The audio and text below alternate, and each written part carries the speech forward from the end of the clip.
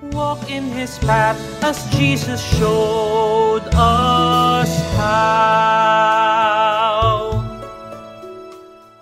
Magandang araw po sa ating lahat. Isa pa po sa mga bunga ng Espiritu Santo na ating tatalakay ngayon, pagpalain tayo ng Diyos, ay tinatawag nating kalinisan. No? Ah, hindi lamang ito yung tinatawag natin sa English na cleanliness, kundi yung tinatawag natin sa English na chastity. No? Na ito po ay isang bagay na paglayo no mula sa mga makapagpaparumi sa ating katawan at kaluluwa. Yung bang alam na po natin marahil yung mga yon, yung mga mga kasalanan sa laman, no? Na kung minsan ito ay nasa isip ng tao, no? Pag-iisip ng bagay na malaswa, no? O di kaya ay ang pagsasabi ng bagay na malaswa, o di kaya paggawa ng isang bagay na malaswa, no? At ah, alam natin na kung minsan ay ah, may mga bagay na hindi na sina, ah, sinasadya, ngunit kusang dumarating sa diwa, sumasagi sa isip, sabihin natin.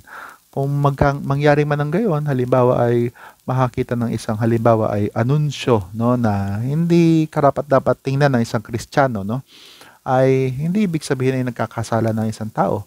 Ngunit maaring magkasala ng isang tao kapag kanya na itong pinayagan, inireplay, ni-rewind, no, nilagyan pa ng kulay, no, ah, ginawa pa halimbawa Blu-ray halimbawa, no.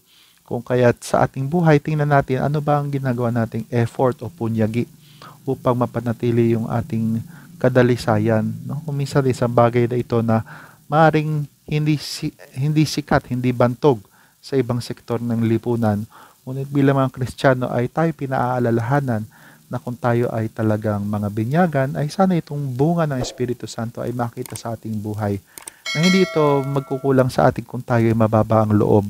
Andyan ang pagsisisi, andyan ang pagsasak, pag, ah, kukumpisal, ang ah, sakramento upang tayo tulungan. Pagpalain tayo ng Diyos.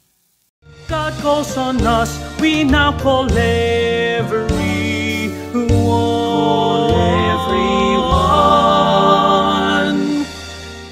Counts on us, we count on you.